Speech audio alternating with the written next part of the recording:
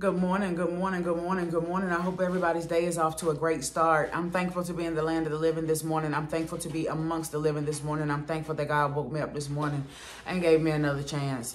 So, I have a quick word for y'all uh, this morning. I want to talk about being a faithful steward over the gifts that God has given you. God created us uh, with gifts.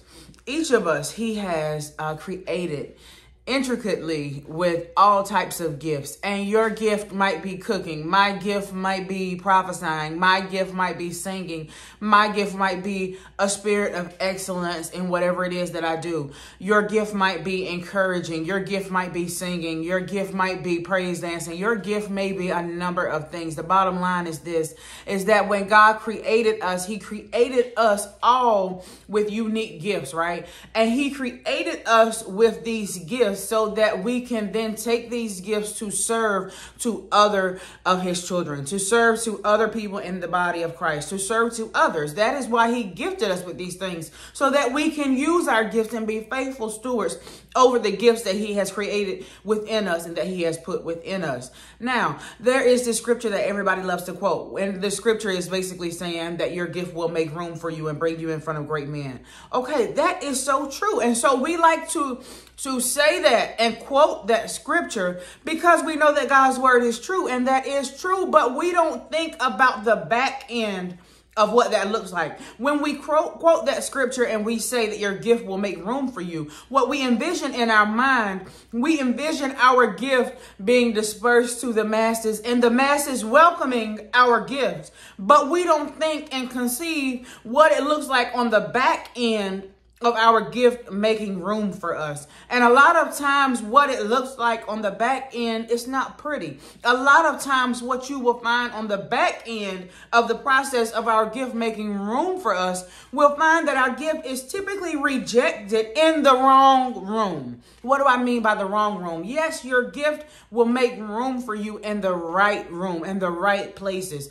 But your same gift that is good, that will make room for you if you take that that gift, right? And you continuously try to disperse it and share it and serve it in the wrong room, guess what you tend to encounter? You tend to encounter rejection. You tend to encounter abnormal resistance. You tend to encounter abnormal uh, objection to you serving your gift.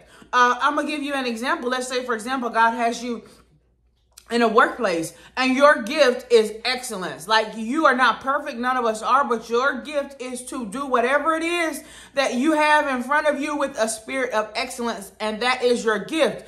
Unfortunately, right now you're in a job under a certain leadership where they do not cultivate and appreciate and value your gift of excellence. And so as you're trying to serve that gift in the wrong room, you are encountering abnormal resistance. We know that when you try to do good, the devil and his little imps are going to always try to come and give you some some sort or some kind of resistance that is to be expected. But I, when I say abnormal resistance and objection, abnormal rejection, what I'm talking about is when you find yourself trying to serve your gift in the wrong room and you are having to fight to keep your gift alive. That is not what God intended for your gift. God intended for you to serve your gift. He created you with this gift to serve it, right? In the right room. And a lot of times we it takes for us to serve our gift in the wrong room and experience the rejection, right? In order for us to be pushed and catapulted into the right room that will make room for us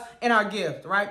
The scripture is correct where it says that your gift will make room for you. Yes, it will, but it will make room for you in the right environment and in the right room. And so if you are frustrated and you are encountering abnormal resistance to your gift in certain places and in, in, certain environments and in, within certain people, if you are encountering that abnormal abnormal, abnormally high levels of rejection, that is an indicator that you are trying to serve your gift in the wrong room. And I want to look at what Jesus did. Y'all all know the story about how Jesus in his hometown was not respected. And he went to try to perform miracles and to try to perform wonders in his hometown. And what he encountered was rejection. Now, what did Jesus do?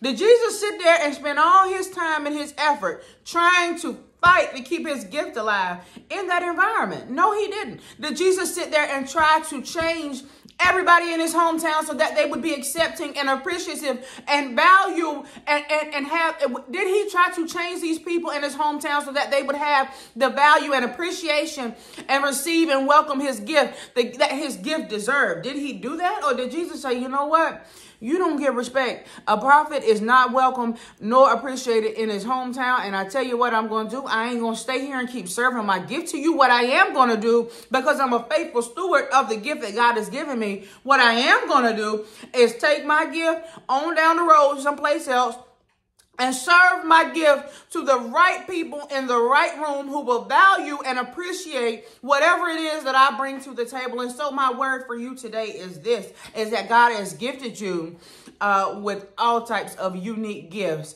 And if you are finding that you are having to fight every single day to serve this beautiful gift that God is giving you, if you're finding that you're having to fight every day to serve that gift, if you're finding that the people in the environment that you're in, that they don't value your gift, they don't identify it, they don't acknowledge it, they don't appreciate it, they have no value for it until it's beneficial to them, until they need it, that is an indicator that you are serving your gift in the wrong room. Your gift will make room for you, but in the right room.